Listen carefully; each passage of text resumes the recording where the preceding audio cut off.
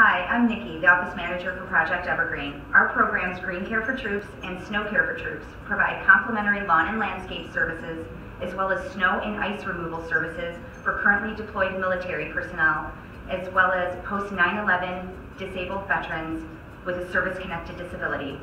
Here are some questions and answers that will help you better understand how our program works.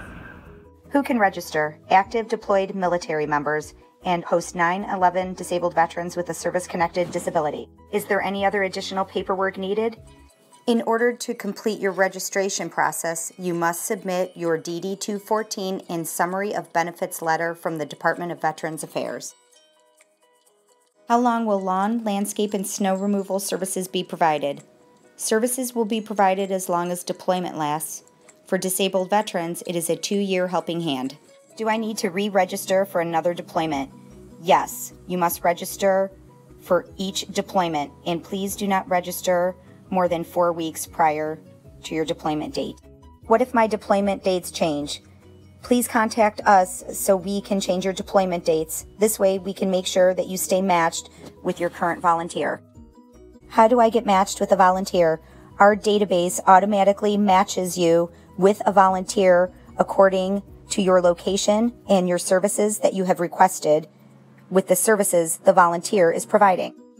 How will I know when I am matched with a volunteer? Our database will send you an automatic email notifying you that you have been matched with a volunteer. Once you receive that email, it is up to you to log into your profile to access the volunteer's contact information.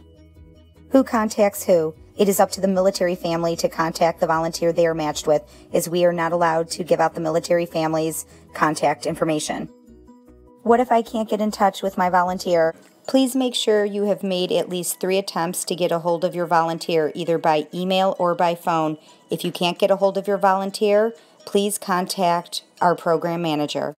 Can I get matched with more than one volunteer? Yes, you can be matched with a volunteer to receive lawn care as well as a different volunteer to receive snow removal. How do I thank my volunteer? A simple email, text message, voicemail, or handwritten thank you card is always nice for a volunteer to receive.